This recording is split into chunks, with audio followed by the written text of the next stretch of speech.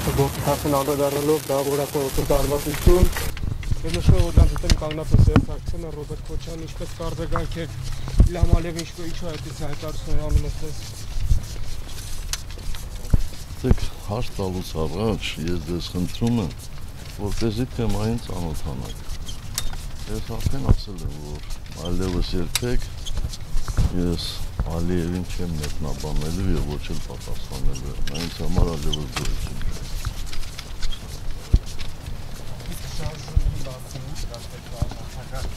գործընթացները գործածնող են, որ կվերի ցանկալի արդյունք։ Իհարկե լինելու են ցանկալի արդյունքներ։